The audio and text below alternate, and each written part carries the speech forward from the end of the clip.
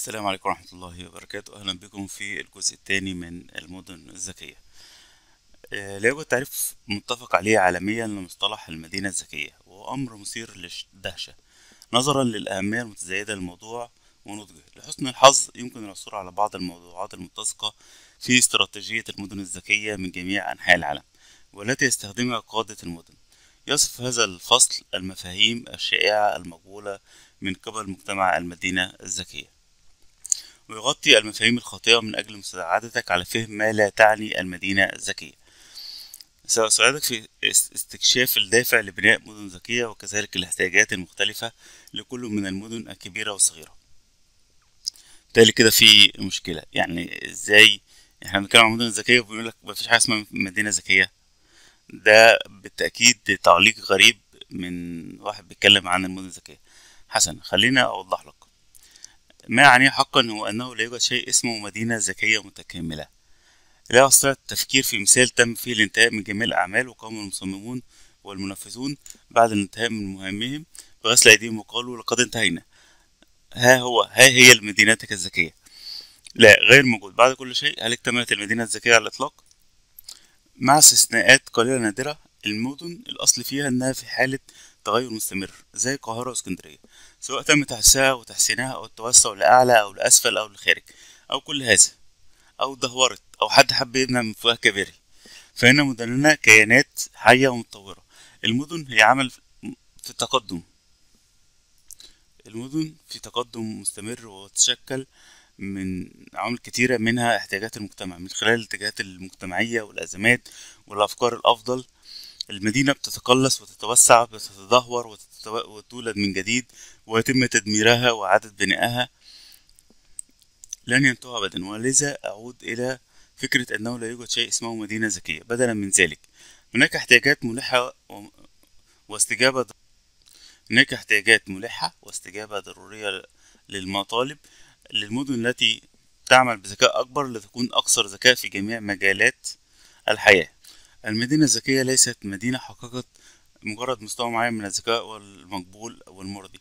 المدينة الذكية هي المدينة التي تتماشى مع الحاجة إلى أن تكون أكثر ذكاء ومن ثم تطور تلك المعرفة في حمضها النووي الفعال والموجه نحو التطور.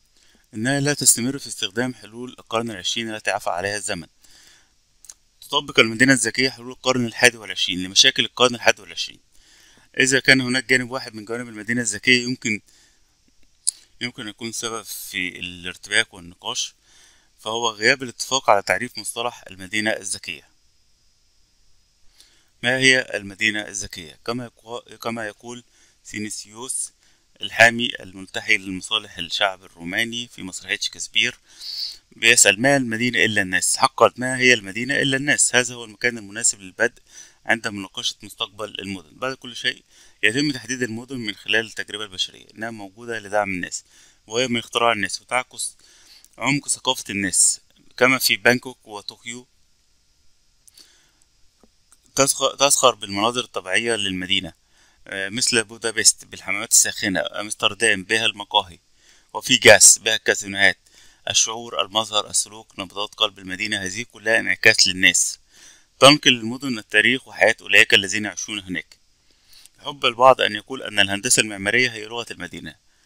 وهو ما يدلني على أنه طريقة مناسبة للنظر إلى الأشياء ظهرت المدن لأسباب مختلفة وتم تشكيل تصميمها من خلال تأثيرات مختلفة. لا يوجد حل واحد يناسب الجميع. عندما يتعلق الأمر بالمدن على الرغم من أنهم يتشاركون في بعض الاحتياجات المشتركة مثل الطاقة والنقل والاتصالات والصرف الصحي إلا أن لديهم العديد من الاختلافات.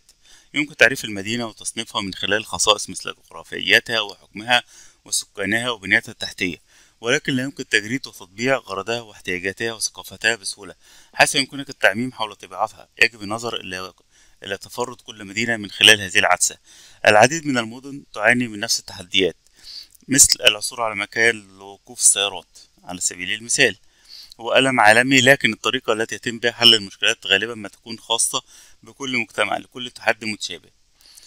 غالبا ما يكون الآخر فريدا. هذه الخلفية ضرورية لفهم كيفية التفكير في المدن الذكية. وفقا للاتحاد الدولي للاتصالات ال ITU المدينة الذكية المستدامة هي مدينة مبتكرة تستخدم تكنولوجيا المعلومات والاتصالات لتحسين نوعية الحياة وكفاءة العمليات والخدمات الحضرية والقدرة على المنافسة. وتلبي في الوقت ذاته احتياجات الأجيال الحالية والقادمة فيما يتعلق بالجوانب الاقتصادية والاجتماعية والبيئية والثقافية. في عام 2016 أطلق الاتحاد الدولي للاتصالات ال ITU مبادرة متحدون من أجل مدن ذكية مستدامة وهي واحدة من مبادرات الأمم المتحدة يتولى تنسيقها الاتحاد ولجنة الأمم المتحدة الاقتصادية لأوروبا ال UNECE وبرنامج الأمم المتحدة للمستوطنات البشرية وغيرهم من الشركاء العالميون من أجل تحقيق الهدف 11 من أهداف التنمية المستدامة ويجعل المدن والمستوطنات البشرية شاملة للجميع وآمنة وقادرة على الصمود ومستدامة. تعمل المبادرة U4SSC كمنصة عالمية للدعوة إلى تبني سياسة عامة تشجع استخدام تكنولوجيا المعلومات والاتصالات لتسهيل وتيسير الانتقال إلى المدن الذكية المستدامة. وضعت مبادرة U4SSC مجموعة من أشارات الأداء الرئيسية KPI بشأن المدن الذكية المستدامة بهدف إرساء المعايير لتقييم إسهامات تكنولوجيا المعلومات والاتصالات في جعل المدن أكثر ذكاء وأكثر استدامة بهدف تزويد المدن بالوسائل التي تسمح لها بالتقييم الذاتي. وبالتالي تحقيق أهداف التنمية المستدامة تقوم حاليا أكثر من خمسين مدينة حول العالم بتنفيذ هذه المؤشرات. تعريف المعيار للمنظمة الدولية لتوحيد المقاييس الأيزو فإن المعيار هو وثيقة تنص على المتطلبات أو المواصفات أو المبادئ التوجيهية أو الخصائص ويمكن استخدامها باستمرار للتأكد من أن المواد والمنتجات والعمليات والخدمات مناسبة لأغراضها وتمثل المعايير الدولية العمود الفقري لمجتمعنا. حيث تضمن سلامة وجودة المنتجات والخدمات وتيسير التجارة الدولية وتحسين البيئة التي نعيش فيها. وهي تضمن أمان المنتجات والخدمات وموثوقيتها وجودتها العالية ويمكن أن تضمن أيضا تيسير الوصول إلى جميع أنواع منتجات وخدمات تكنولوجيا المعلومات والاتصالات لمجموعة متنوعة يقول كون هارلو المتخصص في أبحاث المدن الذكية إن الذكاء في المدن يأتي من فهم الأشخاص لما هو مهم بالنسبة لهم والمشكلات التي يواجهونها سؤال لماذا نحتاج المدن الذكية؟ ينتقل عدد متزايد من الناس إلى المناطق الحضرية على وعد بفرص عمل وتعليم وخدمات اجتماعية أخرى أفضل.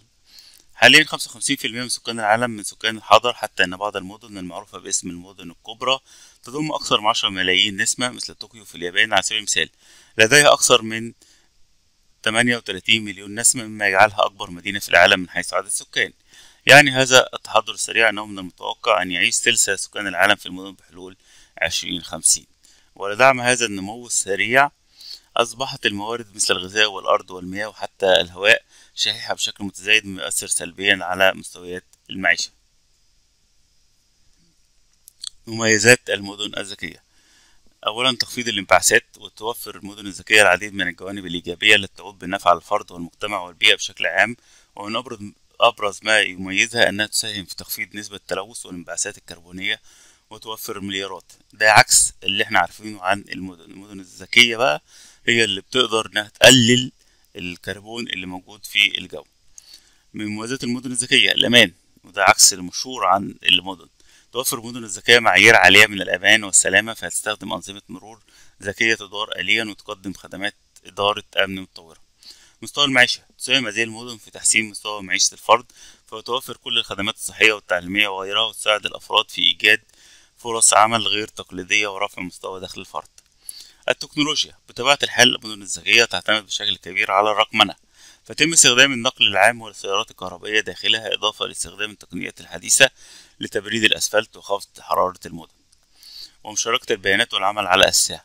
استخدام مواد مستدامة تحسين استخدام المياه والطاقة استخدام خيارات النقل وربطها بكفاءة ربط الأشخاص والأشياء باستخدام اتصالات عالية السرعة. تقديم الخدمات للسكان وخاصة الخدمات الإلكترونية للحصول على موافقات وتصاريح الأعمال من خلال رفع الكفاءة التشغيلية وتنفيذها. تكون المدينة قادرة على تنفيذ إدارة البنية التحتية والطاقة والمعلومات والاتصالات والنقل وخدمات الطوارئ والمرافق العامة والمباني وإدارة فرز النفايات. المدينة الذكية قادرة على تحسين الحياة للمواطنين. وجود شبكة الاستشعار اللاسلكية وشبكة ذكية لقياس العديد من المعلومات ونقل كافة البيانات للسلطات الحكومية والمواطنين. مشاركة سكان المدينة من خلال تقديم آرائهم وملاحظاتهم والتواصل مع السلطة بصورة مباشرة. يعني في لازم يكون في تطبيقات على الموبايل تساعدنا في إن إحنا تعمل نقل مثلا ملكية سيارة من خلال الموبايل من غير ما تروح. آه، تقدم على أي حاجة اجراءات الحكومية كلها من خلال تطبيق على الموبايل. الأجهزة المتصلة. يشكل الإنترنت الأشياء إنترنت السينجز النسيج الأساسي للمدينة الذكية والأجهزة المتصلة هي التي تساهم في هذه الشبكة عند توصيل الأجهزة. يمكنهم إرسال واستقبال المعلومات وجمع بيانات مفيدة في الوقت الفعلي للحصول على المعلومات وتحليلها. وجعل حياتنا أسهل كثيرا عن طريق إزالة نقاط الألم المختلفة في حياتنا اليومية. على سبيل المثال يمكن تشغيل وإيقاف المصابيح الكهربائية عبر هواتفنا تمكن أجهزة اللياقة البدنية القابلة للارتداء من اكتشاف نشاطنا اليومي وتحليلات النوم ويمكنك حتى أتمتة وجبات حيواناتك الأليفة باستخدام وحدة تغذية ذكية في المدن الذكية. يمكن استخدام تطبيقات الأجهزة المحمولة لتتبع أحوال الطريق ومعلومات المرور مما يساعدك على تجنب نقاط الازدحام بسهولة من هاتفك. تلعب هذه الأجهزة دورا في جعل المدينة الذكية جيدة وذكية. مثال جهاز هوم الذكي. تشديد الأمن والسلامة على غرار نظام التعرف على الوجه الذي تستخدمه لإلغاء قفل هاتفك. تدمج المدينة الذكية التقنيات ذات الصلة في البنية التحتية للمدينة مثل المراقبة بالفيديو للتبع والنشاط الإجرامي والتحكم في الوصول إلى المناطق الآمنة. بالإضافة إلى ذلك تحتاج المدن الذكية إلى إجراءات أمن إلكتروني مشددة لأنها تعتمد بشكل كبير على التكنولوجيا وتكون أكثر عرضة للهجمات الإلكترونية. صار دراسة لشركة ديولت الضوء على أن عواقب الهجمات الإلكترونية يمكن أن تمتد إلى ما هو أبعد مجرد فقدان البيانات والأثر المالي ومخاطر الإضرار بالسمعة ويشيد بما يكفي. لتشمل تعطيل خدمات المدينة الأساسية والبنية التحتية عبر مجموعة واسعة من المجالات مثل الرعاية الصحية والنقل وإنفاذ القانون والطاقة والمرافق والخدمات السكنية يمكن أن تؤدي هذه الاضطرابات إلى خسائر في الأرواح وانهيار النظم الاجتماعية والاقتصادية.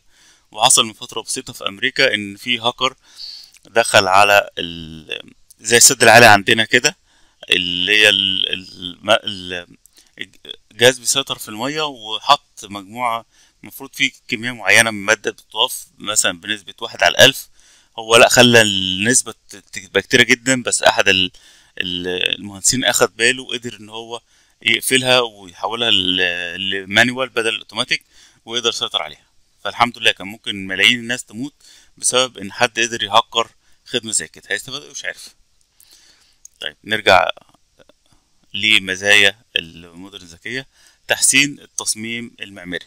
هناك سبب وراء حصول المدن على لقب الغابة الخرسانية. قم بزيارة أي مدينة وسوف تقابل ناطحة سحاب شاهقة بعد أن ناطحة سحاب ناطحات سحاب تشتهر باستهلاك الطاقة بمعدل أسي في الواقع أظهرت دراسة أجرتها إدارة معلومات الطاقة الأمريكية ال EIA أن الطاقة المستخدمة في قطاع المباني بتمثل 20% من الاستهلاك العالمي للطاقة في 2018 وستنمو بنسبة واحد وتلاتة من عشرة في المية سنويا حتى تصل إلى ستين في المية بحلول عام عشرين خمسين.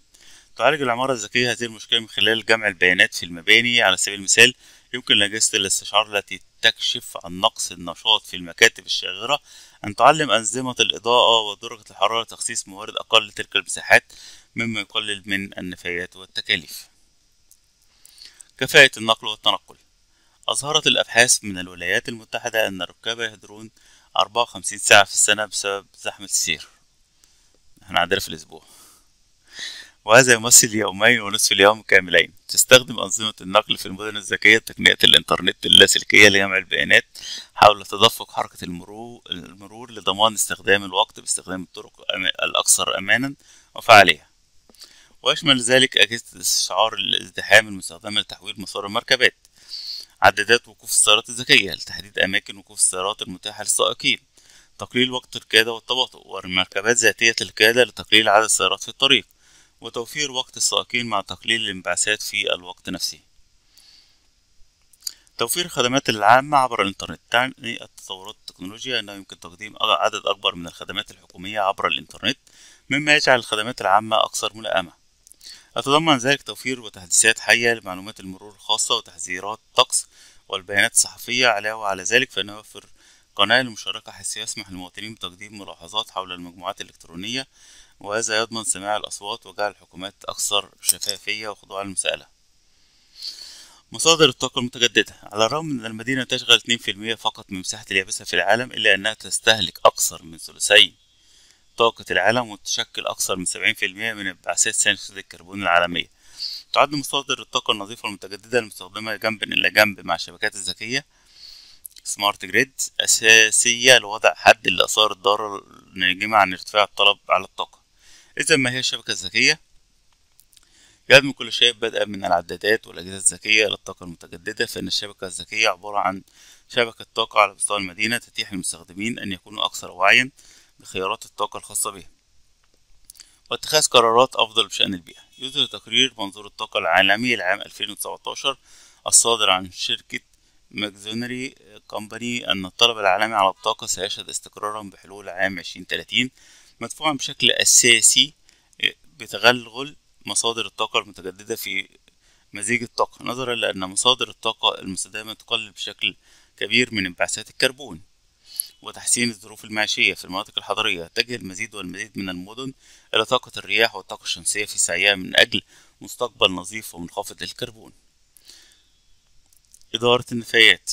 المدن هي بؤر إنتاج القمامة وتزداد كمية النفايات التي ينتجونها بمعدل أسرع من القرى. مع توقع دراسة أجراها البنك الدولي أن إنتاج النفايات السنوي سيزداد بما يصل إلى تلاتة وأربعة من عشرة مليار طن بحلول العام عشرين خمسين للتعامل مع الكم الهائل من النفايات هناك حاجة إلى ممارسات فعالة لتحسين جودة خدمات جمع النفايات. دمج التكنولوجيا الذكية في الصناديق مثل تركيب مستشعرات مستوى الملء والضغط والضغطات لجعل الصناديق ذات سعة أعلى وتمكين أنظمة إدارة النفايات الحضرية من تخصيص الموارد بكفاءة وتجنب رحلات التجميع غير الضرورية. أنا شفتها في موجودة في مدينة في العراق. الشباب هناك قدروا يعملوا آه، سنسور في النفايات بحيث تبلغ البلدية إن إن دي اتملت فلازم تيجي بسرعة. طبعا مش لازم توصل مية في المية يعني أول ما توصل تمانين في المية يدي إنذار لو تلاتين في المية أو خمسين في المية مش لازم العربية تيجي تجمع الزبالة. طيب من ضمن المزايا برضو في المدن الذكية موضوع الغطاء النباتي الحضري والمساحات الخضراء. فوائد الغطاء النباتي متعددة الأوجه فهي لا تكون فقط باستعادة وتحسين جودة الهواء ولكنها توفر أيضا عنصرا شاملا من العناصر الجمالية لمناطق المعيشة الحضرية. أظهرت الدراسات أيضا أن التعرض المنتظم للطبيعة له فوائد إضافية تتمثل في تقليل المشاعر السلبية وتخفيف التوتر الذي تشتد الحاجة إليه. يوفر الجمع بين التكنولوجيا الذكية مثل أجهزة الإشعار الزراعية الدقيقة والهندسة المعمارية الحضرية المبتكرة طريقة رائعة لتحسين نوعية الحياة في المدينة حتى عندما تكون المساحة محدودة وإنشاء مساحة معيشة أكثر استدامة على سبيل المثال شهد بناء الجدران الخضراء زيادة في الشعبية في التصميم المعماري الحضري بسبب فعاليتها من حيث التكلفة. عندما يتعلق الأمر بجعل المناطق الحضرية مساحة أكثر متعة للعيش فيها لا تقلل الجدران الخضراء فقط من كمية الطاقة اللازمة لتبريد المبنى يعني الحوائط نفسها هتبقى في زرع فيها. وشفت أنا ناس عاملين زراعة بالطحالب. لأنها تح... لا تقلل الجدران الخضراء فقط من كمية الطاقة اللازمة لتبريد المبنى لأنها تحجب المباني من أشعة الشمس المباشرة ولكنها تقلل أيضا من فقدان الحرارة في فصل الشتاء. وتحويل المياه بعيدا عن الجدران أثناء هطول الأمطار الغزيرة مع إضافة التكنولوجيا الذكية يمكن للجدران الخضراء تنقية الهواء وترطيبه مما يؤدي إلى تحسين جودة الهواء بشكل طبيعي وبشكل كبير. العمارة الخضراء الذكية. بقدر ما قد يخشى, البعض من التكنولوجيا الجديدة المعروفة باسم إرهاب التكنولوجيا أو فوبيا التكنولوجيا فإن المدن الذكية هي المثال المثالي لاحتضان التكنولوجيا بدلا من الخوف. هناك وعد بعمليات أفضل وتقليل الأثر البيئي فإن المدن المتصلة هي المستقبل وهذا شيء يسعدنا كثيرا. سنتعرض الآن تعريف المدن الذكية لكن لن تغفل عن هاتين الصفتين المهمتين. استخدام التكنولوجيا والناس أولا. استخدام التكنولوجيا هناك العديد من الطرق لمعالجة قضايا المدينة ولكن عند استخدام التقنيات كأدوات أساسية فإن هذا يساعد على جعل المدينة أكثر ذكاء. المدينة الذكية هي نظام من الأنظمة التي تعمل على تحسين مستوى البشر.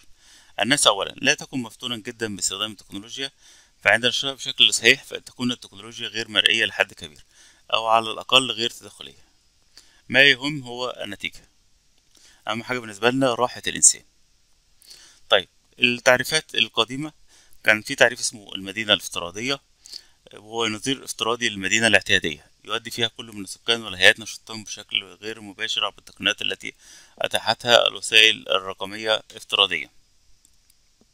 ومن دون الحاجة إلى التواجد الشخصي. التعريف الثاني المدينة المعرفية المصطلح المستخدم لوصف استراتيجية تنمية قائمة على المعرفة والتي تهدف إلى تعزيز ودعم عمليات إدارة المعرفة التي تحدث في منطقة حضرية بشكل مستمر. وتحقق ذلك من خلال التفاعل المستمر لوكلاء المعرفة مثل الجامعات ومعاهد البحوث والشركات والمواطنين وما إلى ذلك. آه، وكذلك مع وكلاء المعرفة في مدن أخرى لازم يكون في تبادل معرفة وتدفق المعرفة باستمرار. ثلاثة شبكات الاتصال المتقدمة والبنية التحتية للمدينة ومستوى تعليم المواطن. المدينة الرقمية. المدينة الرقمية هي محاكاة شاملة تعتمد على تكنولوجيا على تقنية الشبكات العنكبوتية لتنفيذ الوظائف الاعتيادية لقاطني المدن بطريقة إلكترونية الطابع وينفذها أشخاص طبيعيون في مدينة عادية. حيث أنها تضم مجموعة واسعة من الشبكات الرقمية والتطبيقات الإلكترونية وتقدم خدمات اقتصادية واجتماعية في عدة مجالات مثل التجارة والصحة والتعليم والعمل والترفيه فهي فراغ افتراضي للمجتمع يقدم الخدمات تتم عادة في الفراغ الفيزيائي للمدينة. تكنولوجي سيتي. المدينة التكنولوجية هي التي تطبق فيها التكنولوجيا المطور وتنعكس طبيعتها وهيئتها. المدينة الإلكترونية. المدينة الإلكترونية هي المدينة التي تتوفر فيها اتصالات وتقنية المعلومات تنفيذ عمليات تبادل المعلومات بين مكونات المدينة. المدينة الذكية. أو المدن الرقمية أو المدن الأيكولوجية. كل دي تعريفات.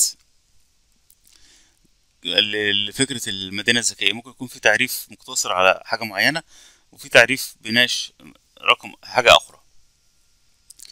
طيب المدينة الذكية هي مدينة رقمية أو أيكولوجية تعتمد خدماتها على البنية التحتية لتكنولوجيا المعلومات والاتصالات.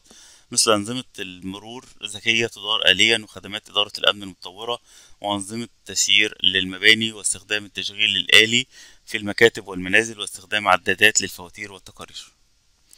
في تعريف آه، أزمة ده سنة 2011 المدينة الذكية تجمع عمراني يرتكز على ثلاث ركائز أساسية تقنية واجتماعية وبيئية وبالتالي فهي مدينة افتراضية ومعلوماتية ومعرفية وبيئية. فهي ثلاث مدن في مدينة واحدة.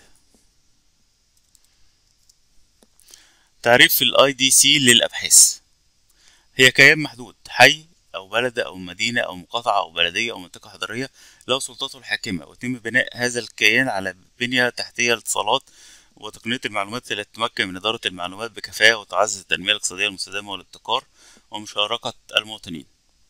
تعريف آخر. هي مدينة رقمية تعتمد خدماتها على البنية التحتية لتكنولوجيا المعلومات والاتصالات مثل أنظمة المرور الذكية تدار آليا وخدمات وإدارة الأمن المطورة وأنظمة تسيير المباني واستخدام التشغيل الآلي في المكاتب والمنازل واستخدام عدادات الفواتير والتقارير. يمكن تحديد ستة أبعاد مميزة للمدينة الذكية. ترتبط بدورها بنظريات التنمية والنمو العمراني التقليدية كالنقل والإقتصاد والموارد الطبيعية ونوعية الحياة والتشاركية وأهم العناصر اللي هي الطاقة والماء والمخلفات والبنية التحتية والسلامة العامة والتعليم والرعاية الصحية والمباني الخضراء وسائل النقل وخدمات المواطن. تكون المدينة الذكية عندما تحقق الاستثمارات في رأس المال البشري والاجتماعي البنية التحتية وتعتمد على التنمية المستدامة وتقديم أفضل الخدمات إلى سكان المدينة والإدارة الحكمية للموارد الطبيعية. ده مايكل ديسكون. تطبيقات أخرى المدن الذكية المعطرات الذكية النقل الذكي الطرق الذكية الشبكات الذكية الاتصالات الذكية المنزل الذكي الخدمات الطبية الذكية خصائص المدن الذكية. المواطن الذكي يعني إيه مواطن ذكي؟ مش حاصل على الدكتوراه أو حاصل على ماجستير يقدر يتعامل مع المدينة الذكية. يعد الأشخاص الأذكياء لبنية البناء الأساسية لنظام المدينة الذكية فهم من يتميزون بكونهم أذكياء يتفوقون فيما يفعلونه باحتراف. لديهم مؤشر تنمية مرتفع هيستعمل المدن الذكية على استقطاب رأس المال البشري النوعي بالتوازي مع دمج جامعاتها في جميع جوانب الحياة المدينة. كما يتميز كما يتميز المواطن في المدن الذكية بالمرونة العالية والتكيف مع تغير سعيهم الدائم لإيجاد الحلول ويشاركون بنشاطهم في التنمية المستدامة للمدينة ويشاركون بنشاطهم في التنمية المستدامة للمدينة بأدائهم الفعال لجعلها أكثر ملائمة للعيش تعريف آخر للجزيرة الذكية. يعيش أحد عشرة بالمئة من سكان العالم في الجزيرة. تتوقع مجتمعات الجزر لتحقيق الاكتفاء الذاتي وتقليل آثار انبعاث الكربون.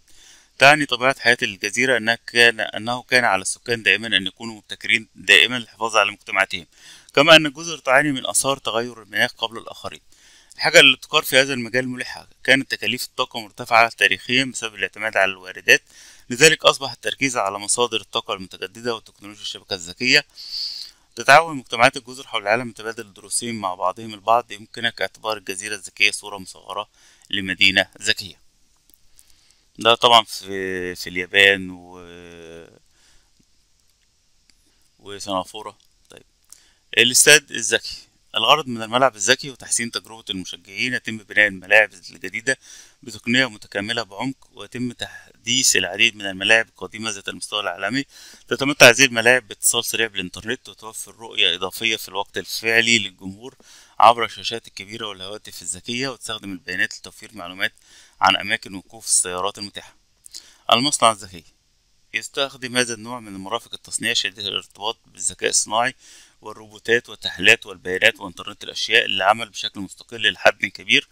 يمكن لخطوط الإنتاج أن تصحح نفسها وتعلم لتصبح أكثر كفاءة ومرونة يمكن البيانات من مصنع ذكي تحسين سلسلة التوريد وعمليات التصميم ما يؤدي إلى زيادة تحسين الإنتاج ومنتجات عالية الجودة. الانتقال الذكي مبدأ الانتقال الذكي هو الاستهلاك كفء للطاقة ويتضمن خفض الانبعاثات الضارة بالبيئة. وأن تكون وسائل المواصلات آمنة ومنخفضة التكاليف وتطور تطور البيئة الشبكة التحتية عن طريق تطوير تقنيات المعلومات والاتصالات.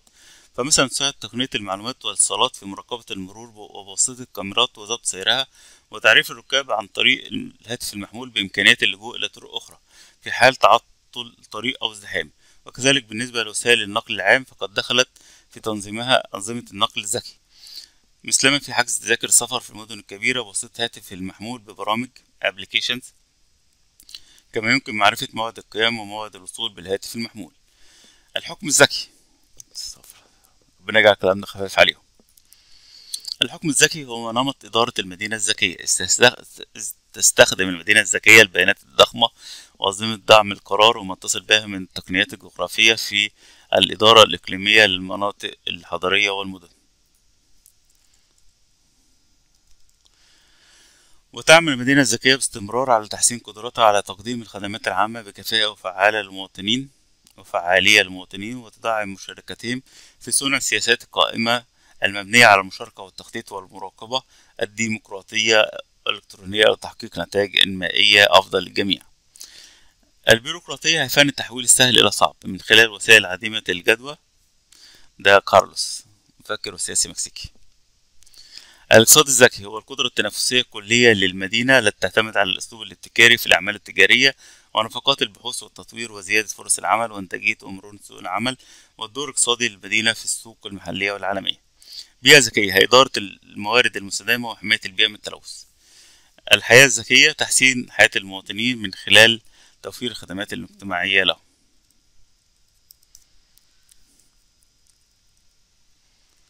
الشبكات الذكية.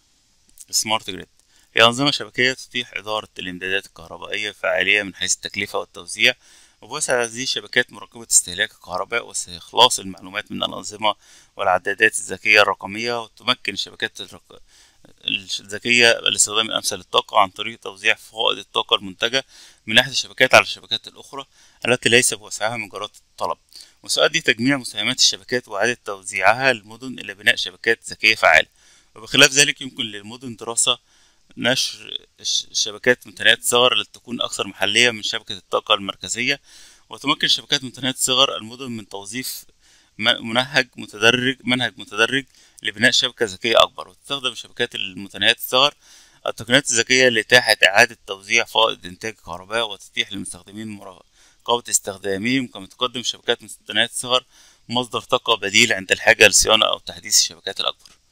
أمثلة المدن الذكية سونغودو كوريا الجنوبية ومدينة فوجياسو اليابان ولوسيل قطر وفي الإمارات في مدينة مصدر. ويشير الاستطلاع إلى متوسط معدل البناء الذكي في الشرق الأوسط كان 48 من أصل 100 نقطة ممكنة. مقومات نجاح التحول إلى المدن الذكية إن التغير في الحياة المدينة نحو الأفضل تجعل المدن أكثر ذكاء ونجاح هذا التحول الطلب ما يلي واحد دعم حكومي ومحلي. اتنين رؤية استراتيجية واضحة. تلاتة الاهتمام بالمراكز البحثية والجامعات لتشجيع الابتكار عن مفهوم المدن الذكية. أربعة توعية وتثقيف المواطنين بأهمية المشروع وإقامة محاضرات عامة في مجالات التطبيق الرئيسية للمدن الذكية. وبلغ متوسط درجة معدل البناء الذكي في الدوحة سبعين درجة أي أكثر من عشرين نقطة فوق المتوسط الإقليمي وكان متوسط الدرجات في دبي خمسة وستين وجاءت أبو ظبي في المرتبة الثالثة حيث بلغت تمانية وأربعين وقال التقرير أن مطارات المنطقة تقود المنطقة إلى تقنية البناء الذكي حيث يبلغ متوسطها تمانين نقطة. وهناك اليونيسف وأهداف التنمية المستدامة السبعة السبعتاشر قضاء على الفقر قضاء التام على الجوع الصحة الجيدة والعافية التعليم الجيد المساواة بين الجنسين. الماء النظيف والصرف الصحي الطاقة النظيفة وميسورة التكلفة. العمل اللائق والنمو الاقتصادي الصناعة والابتكار والبنية التحتية. الحد من أوجه عدم المساواة. مدن وأحياء مستدامة. الاستهلاك والإنتاج المسؤولان العمل لأجل المناخ. الحياة تحت سطح البحر. الحياة على البر. السلام والعدل والمؤسسات. التعزيز وسائل التنفيذ وتنشيط الشراكة العالمية لأجل التنمية المستدامة.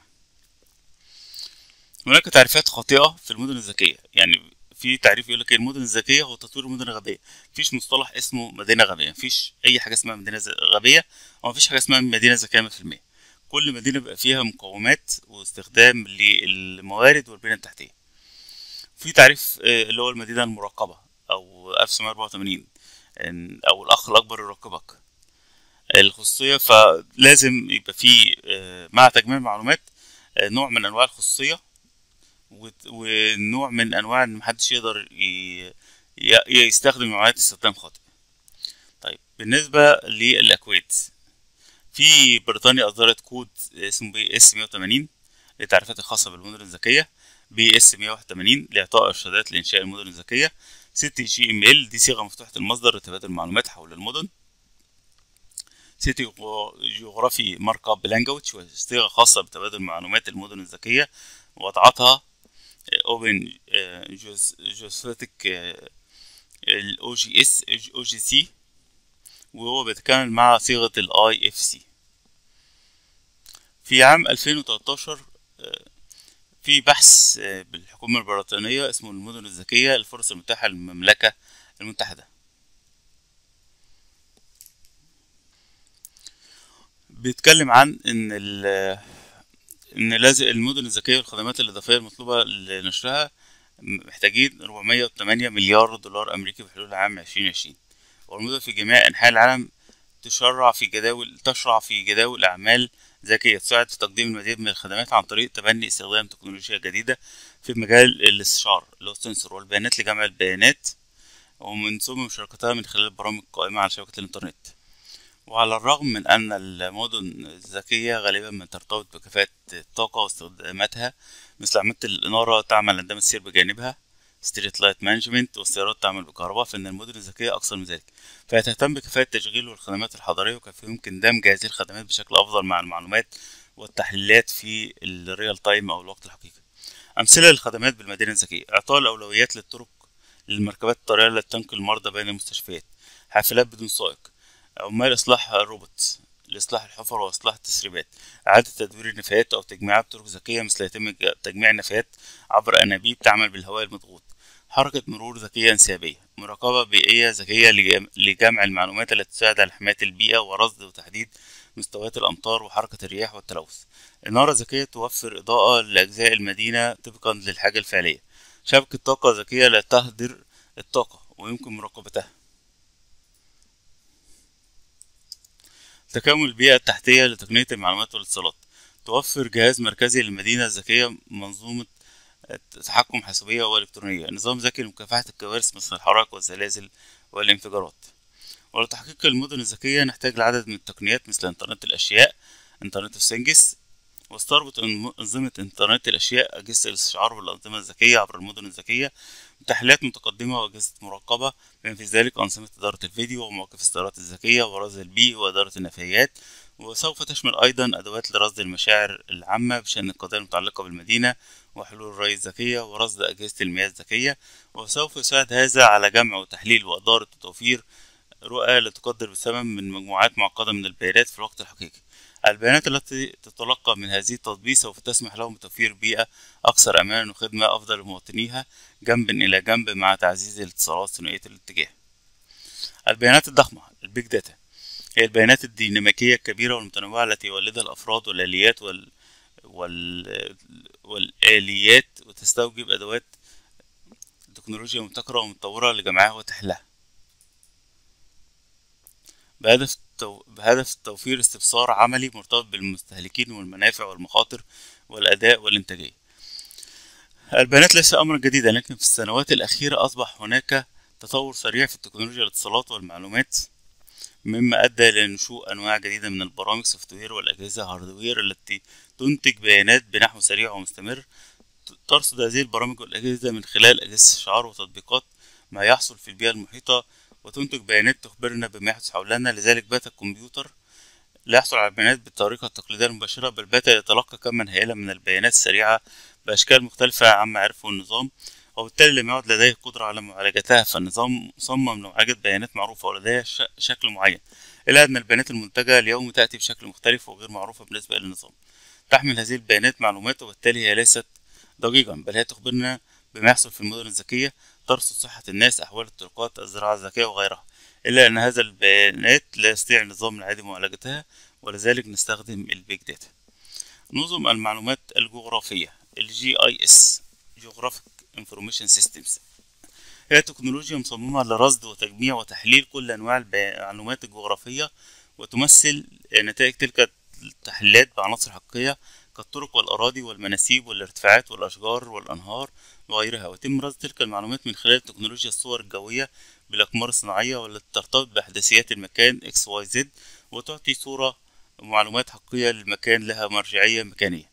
برامج نظم المعلومات الجغرافية تفي بمتطلبات البيم لتقاس البيانات بين مختلف المقاولين والعمل على مناطق مختلفة من المشروع لتبسيط دورة حياة المشروع منذ البداية. تتيح هذه التقنية لمدير المشاريع تصور طبقات كل مبنى على الفور واستدعاء معلومات المشروع ذات صلة بما في ذلك من أجهزة الجوال التي يستخدمونها في الموقع. يمكن أيضا تقاسم المعلومات ذات الصلة والمركزية مع جميع أصحاب المصلحة من خلال المتطلبات واللوحات. دمج تقنيات ال BIM ونظم المعلومات الجغرافية سيحسن قدرات تصميم المشروع ويقلل المخاطر من خلال تحسين تدفق المعلومات من البداية للنهاية وتوفر الموارد والجدولة أثناء الإنشاءات. ال BIM أهم ميزة في ال BIM هو أنه سهل التعاون وإدارة المعلومات والاتصالات بين الفرق المشاركة في مشروع البناء والتكنولوجيا المختلفة في العمليات التقليدية من العمل. يتم فقدان بعض المعلومات. في كل مرة يتم نقل وتسليم المعلومات من فريق لآخر وهذا يؤدي إلى الهدر. ال BIM يتغلب على هذا من خلال مركزية المعلومات واستخدام كود موحد ويتم دمج معلومات المباني ومعلومات الطريق ومعلومات النقل داخل نموذج المدينة.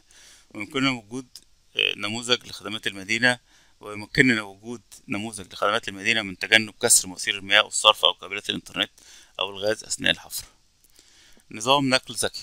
نظم النقل الذكية استخدام تقنيات الحاسب والإلكترونيات والاتصالات والتحكم لمجابهة العديد من التحديات التي تواجهنا في النقل البري مثل تحسين مستويات السلامة والإنتاجية والحركة العامة.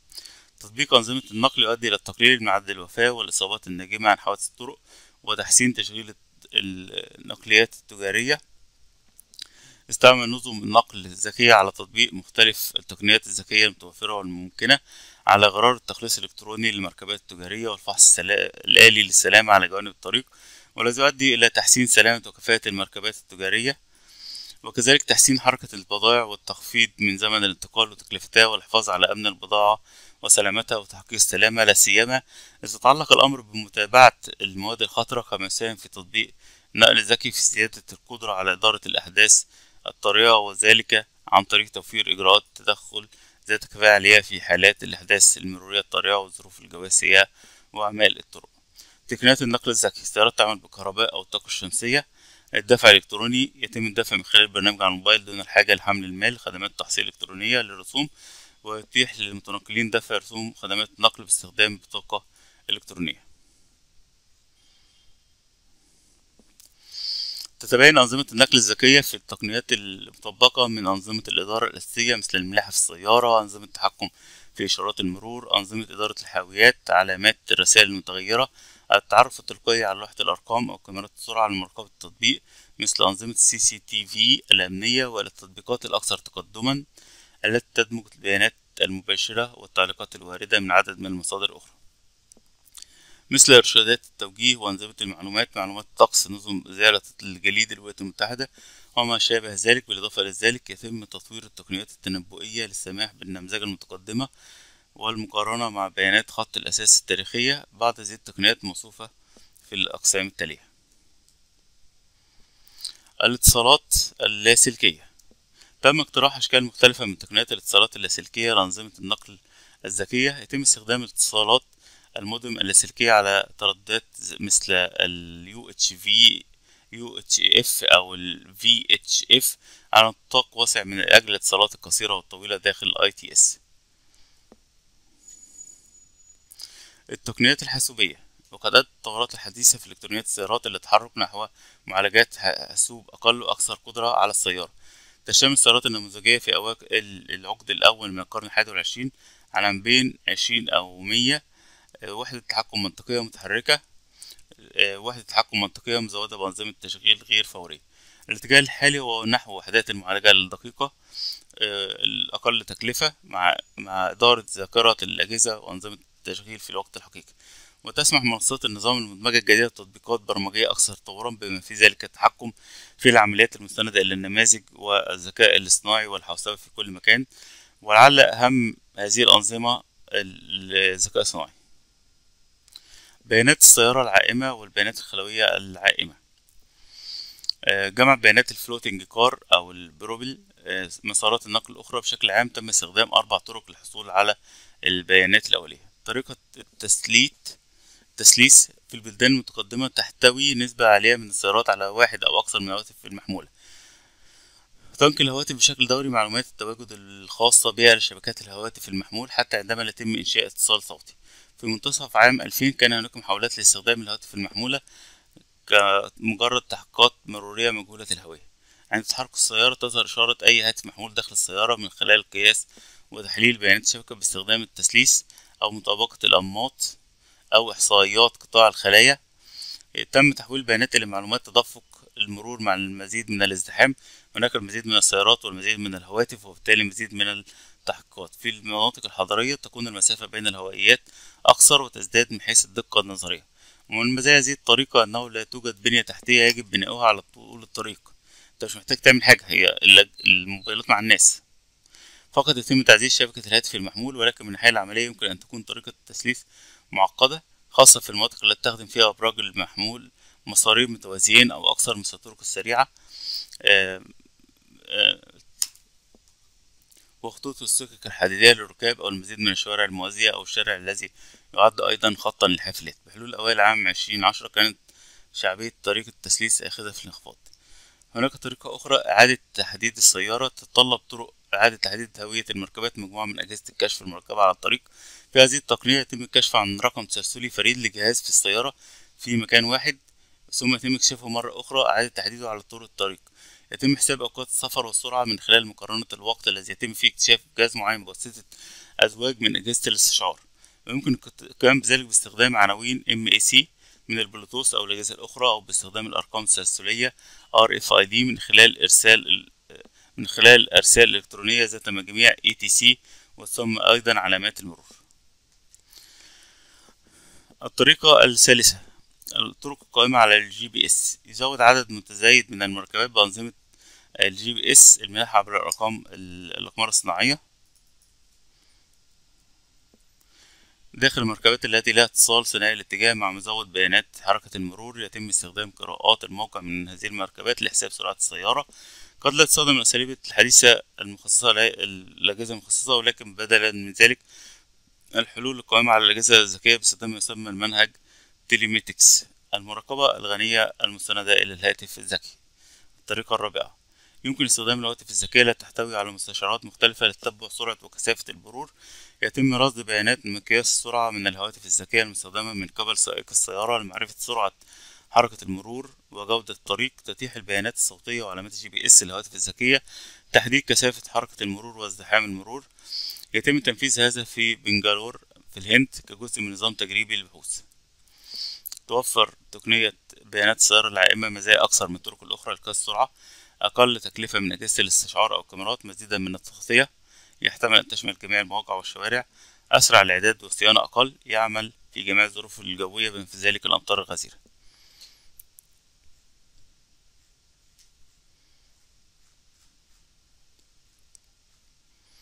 تقنيات الاستشعار.